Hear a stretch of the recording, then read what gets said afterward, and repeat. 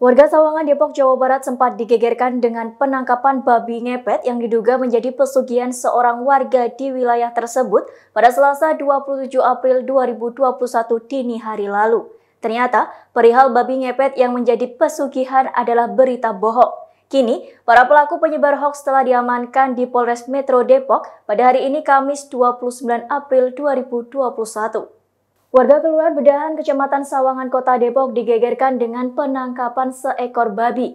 Babi ini ditangkap pada hari Selasa, 27 April 2021 pukul 00 lewat 30 waktu Indonesia Barat. Diduga, babi ini merupakan jadi-jadian alias babi ngepet. Melasih dari situs Wikipedia, babi ngepet adalah makhluk dalam legenda masyarakat Indonesia yang bercerita tentang siluman. Babi yang diduga babi jadi-jadian atau babi ngepet akhirnya disembeli pada Selasa 27 April 2021 siang.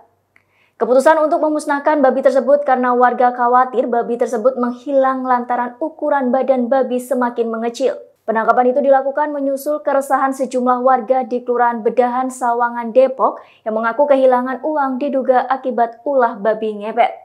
Kehebohan kasus babi ngepet di Bedahan Sawangan Depok, Jawa Barat belum usai. Kembali beredar sebuah video seorang ibu yang mengaku tahu siapa sosok di balik babi ngepet tersebut. Dalam video berdurasi 58 detik, si ibu menuding orang yang menjadi babi ngepet ini adalah tetangganya yang menurutnya menganggur tapi mempunyai banyak uang. Tidak lama berselang video Ibu Wati ini pun viral. Dia digeruduk warga hingga akhirnya membuat video klarifikasi dan permintaan maaf pada Selasa 27 April. Dia mengaku menyesali ucapannya menuding tetangganya yang menganggur tapi kaya. Kehebohan kasus babi ngepet di Bedahan Sawangan, Depok, Jawa Barat itu membuat banyak pihak yang angkat bicara. Hingga pihak kepolisian mengungkap cerita soal babi ngepet atau babi jadi-jadian yang menghebohkan warga Bedahan itu.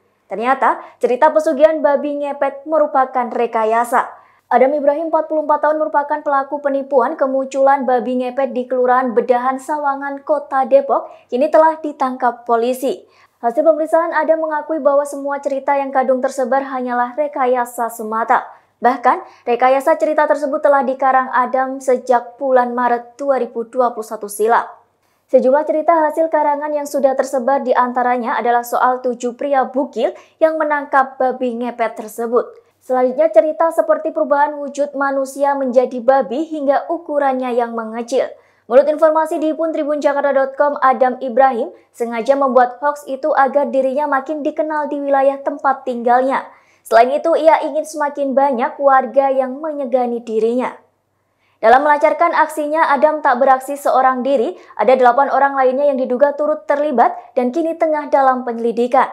Diketahui, Adam Ibrahim rupanya membeli babi tersebut secara online. Ia membeli dari komunitas kucing Depok seharga Rp900.000 dan biaya kirim Rp200.000.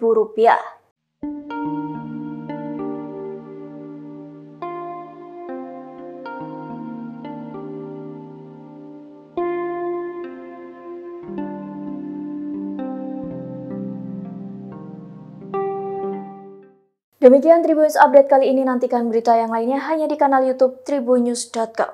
Terima kasih sudah nonton. Jangan lupa like, subscribe, dan share ya.